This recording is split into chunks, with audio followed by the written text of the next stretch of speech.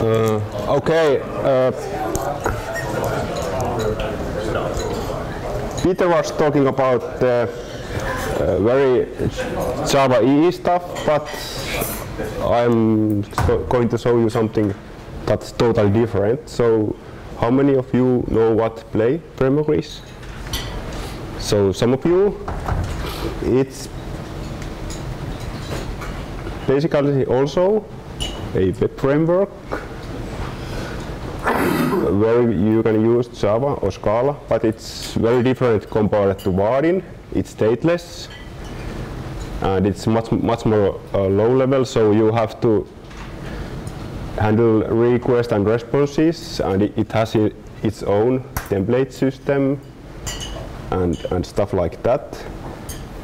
and it uses its own uh, web server, so you cannot use Vaadin with it until now. So uh, I am going to, I have created a POC how to use Vaadin with, with Play framework. So I am going to create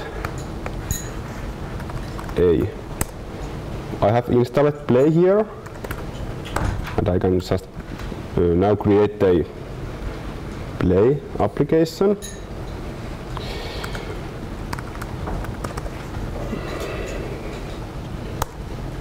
Let's see. Okay, it's already was there.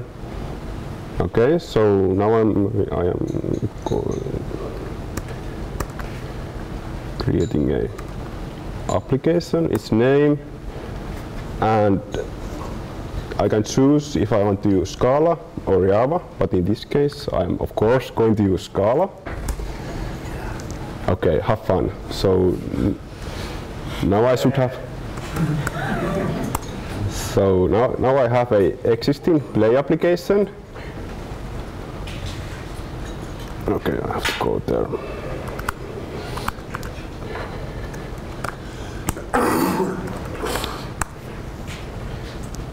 And first, let's uh, going to import the, the application to to IDE.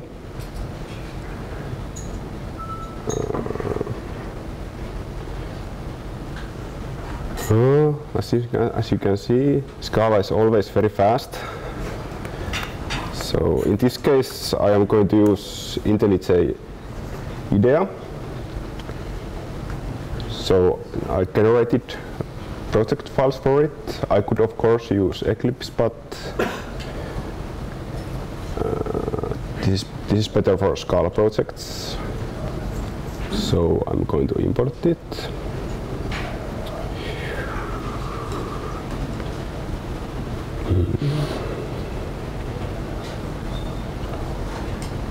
Okay.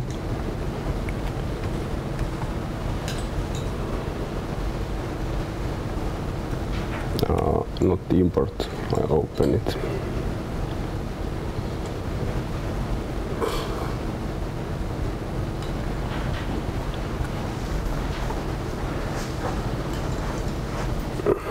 Okay, now I, uh, I have the project here. So uh, Play applications consist of of controllers and views, so it has its own MVC stuff. So the views are templates that actually use use Scala Scala here. So I don't really know how to use Play, but but, but you can see that here is some kind of template here is HTML and here are controllers which are actually this is going to respond the, the requests so and then I have have also the uh, configuration for, what what control, controller is going to answer to the to the request. So when a request comes to the root then this application uh, method is called. And now we can actually start this play application by saying run here. Okay. And I can open it here. And the interesting part is that it's when I uh, open the page or reload the page, the the play is Uh, recompiling the, the, the files you have changed. So you can actually use, for example, Notepad to edit the, the files, and the place compiling it automatically. So this is now, as we can see, this is a working play application, and we can modify something from here if you want. So I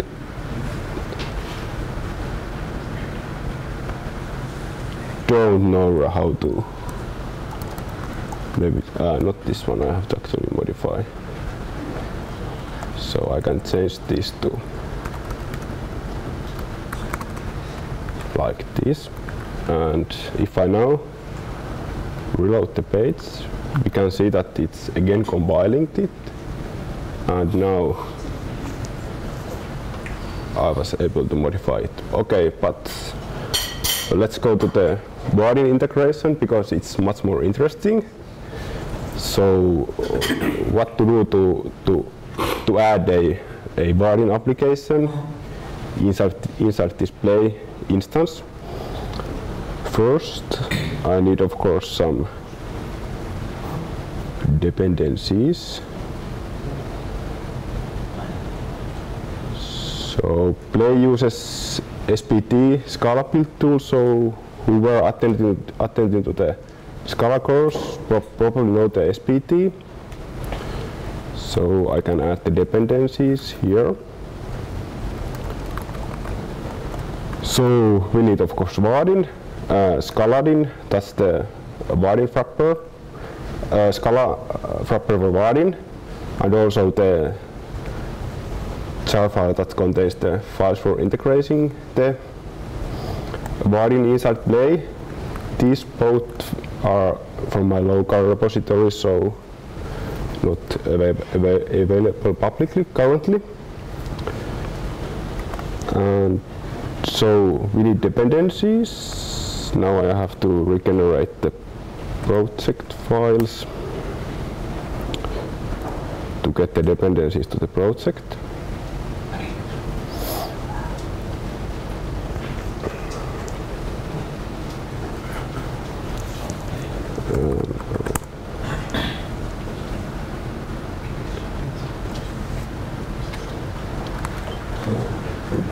Okay.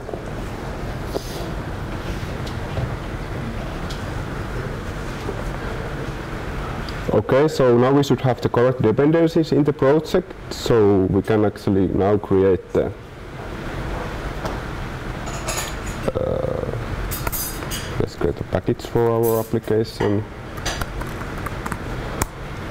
and then the UI class and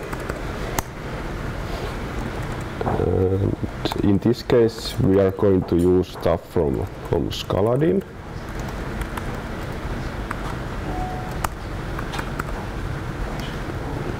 Okay. And let's just add a new button. So this is now uh, using the Scaladin which wraps the Vaadin API inside Scala API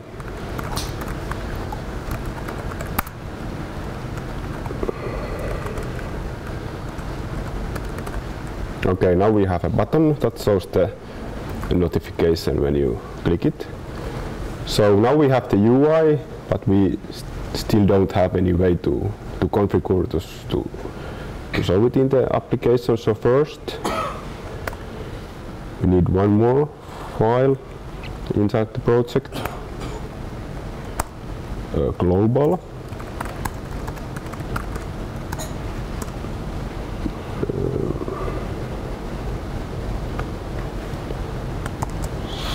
So mm,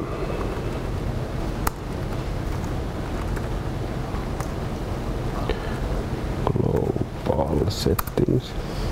So this is a, a class in a ob object means that it's it's singleton static, which means that we can listen the every request in the in the play application by using this global and we can add this uh, mix this uh, with with this trait which means that now now uh, we are actually able to uh, uh, move the correct re request actually to the to the to the Vaadin play integration and now we still have to configure the actual application. And we can now do it it here in the application configuration file so we can just say scaladin dot myapp.ui and then the name of the UI it's my package dot uh, my UI and then we need also the, the path of the application. My app. Okay. And now it actually should work. And we could of course create more more these mappings and application if you want. But this should be enough. So let's start the and see if it works. So this is the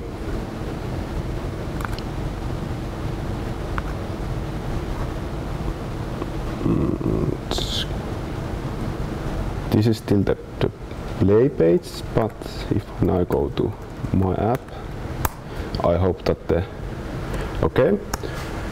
It's working but currently the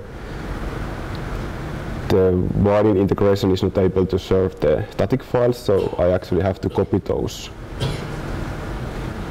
to the correct place. So I have the Vaadin folder here and then I put it here.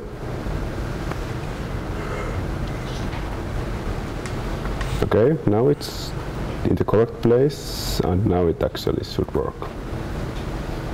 Okay so this is now Vaadin application running inside the play. And as you can see it works. The next step would be to actually to to add support for that that we could add a, Vaadin application inside your play template but it's not yet working. Uh, any questions? What just happened?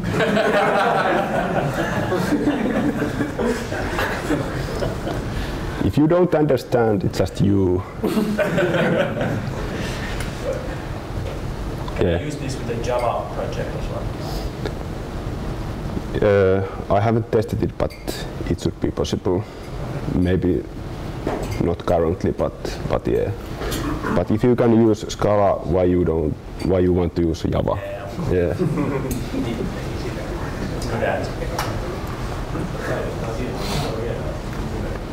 yeah. this this is not yet public, but at some point I will put it in GitHub. Yeah. Thank you.